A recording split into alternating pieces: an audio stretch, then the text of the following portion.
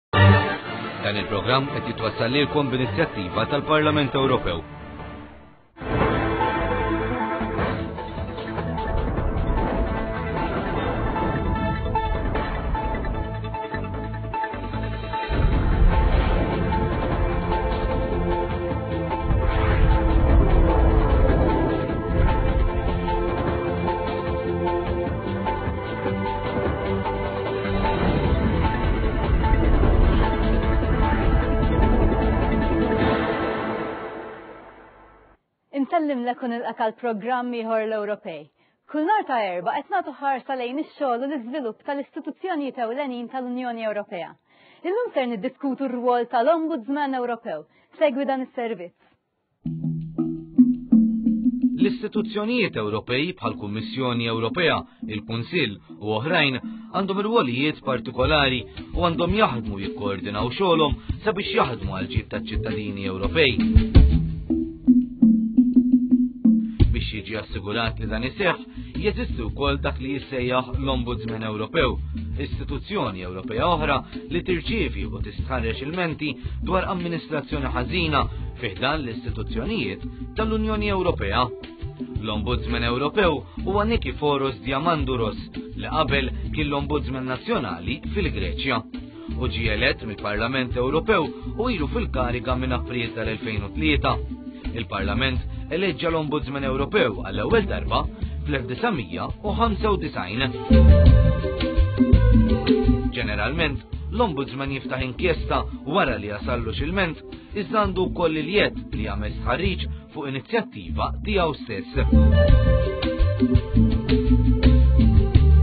L-Ombudsman jistħareġ b'mod partikolari każijiet ta' amministrazzjoni ħażina jew żbaljata l-amministrazzjoni ħażina tiġri meta istituzzjoni tonqos milli tkun konformi mal-liġi tonqos milli tirrispetta l-prinċipji ta' amministrazzjoni ġusta jew tmur kontra drittijiet tal-bniedem.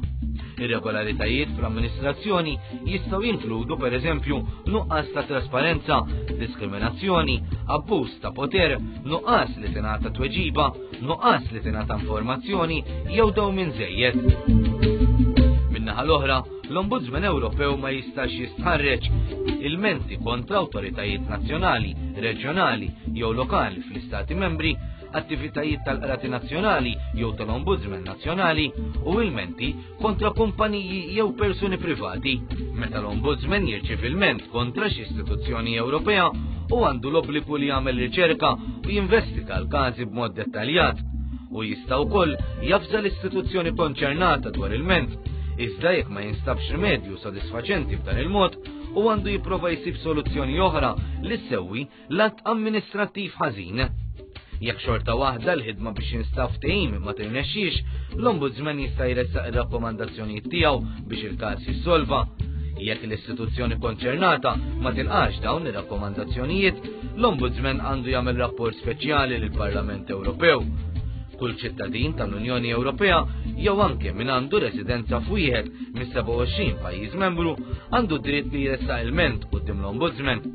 Kumpaniji, assoċjazzjonijiet jew korpi oħra li għandhom uffiċċju reġistrat fl-Unjoni jistgħu wkoll jilmentaw mal-Ombudsman. Jekk l-Ombudsman Ewropew ma jkunx jista' jistħarreġ l-ilment, xorta waħda għandu jagħmel ħiltu biex jagħti Parir dwar kif tista' tissolva l-problema. Dik kienet ħarsa lejn ir-rwol tal-Ombudsman Ewropew. Aħna tkellimna wkoll ma' Duxana Zdravkova, membru parlamentari Ewropew li tkellmet dwar rapport riċenti dwar l-Ombudsman. I think that it will be a little bit difficult to give a full overview or the full picture of the activities of the Ombudsman because there are a lot of them.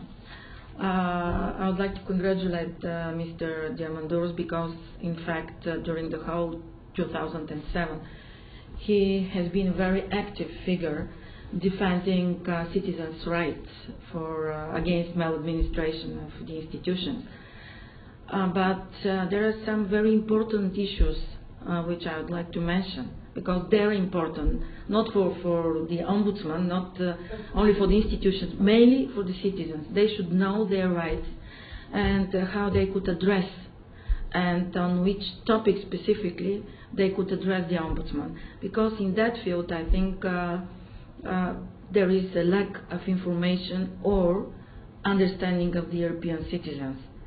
And some, sometimes they address on uh, mm, other topics which are not uh, included in the um, priorities, not but the, the, rights of the ombudsman to act.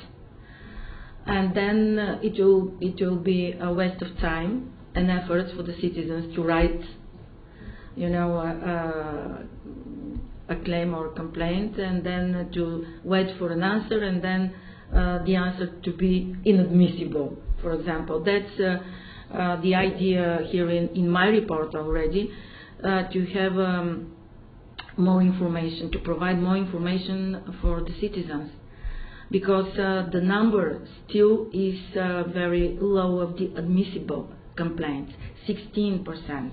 And although it's increased compared to 2006, uh, I think it's not enough. Dik kienet Dushana Zdravkova, Membru tal-Parlament Ewropew, li spjegat x'inkiteb fir-rapport dwar l-Ombudsman, kif ukoll tat il-fehma tagħha dwar x'jista' jsir sabiex is-servizz tal-Ombudsman jiġi mtejjeb. Jekk tħoss li għandek bżonn tressaq xi ilment dwar xi istituzzjoni Ewropea, tista' tagħmel kuntatt mal-Ombudsman Ewropew billi tidħol fuq is-sit elettroniku www.ombudsman.europa.eu. Tinsiex, tista' wkoll tagħmel kuntatt mal-Uffiċċju tal-Informazzjoni tal-Parlament Ewropew billi tibgħat email lil epvalletta@europarl.europa.eu. Anke jekk trid tibgħat xi kummenti jew suġġerimenti dwar il-programm jew jekk trid tagħmel xi mistoqsija dwar l-Unjoni Ewropea, tista' tibgħat email lit-tim tal-Ewropej fl-indirizz info@europej.com.